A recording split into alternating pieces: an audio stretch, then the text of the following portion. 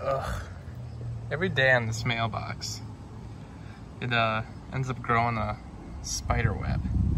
Granted, I think there is this lovely spider that lives behind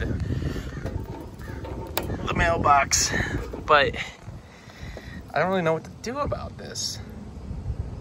Every day I kind of just come up to it, I'm like, all right, I'll, uh, I'll clean it up, I guess, but why is this even like a problem? Like, I destroy his home every day, and every day he's still like, nah, I'm gonna make a comeback. And I'm not asking for this. Look, tomorrow I'll come out here again and he'll be, there'll be another spider web. This might be a case where I actually need some like raid or whatever they call it.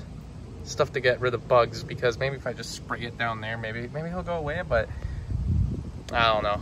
I even cleaned up underneath the mailbox that day, but that seems to not be doing the trick. So if anyone's got a hint on how to get rid of spiders permanently, I know it's probably just a can of bug spray, I get that, but like, yo, why is it I destroy Spider's home and he rebuilds it that fast? Why is he like this? Why is this such a good spot for him?